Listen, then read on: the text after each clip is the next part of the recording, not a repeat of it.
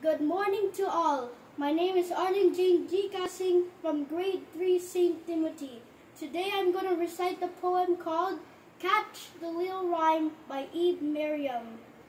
Once upon a time I caught a little rhyme. I set it on the floor, but it ran right out the door. I chased it with my bicycle, but it melted to an icicle.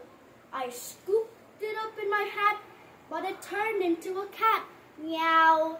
I caught it by the tail, but it stretched into a whale. I followed it in my boat, but it turned into a goat. Meh, meh.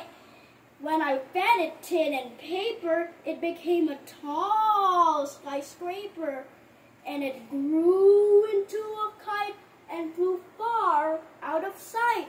And that was Catch a Little Rhyme by Eve Merriam. Thank you and goodbye.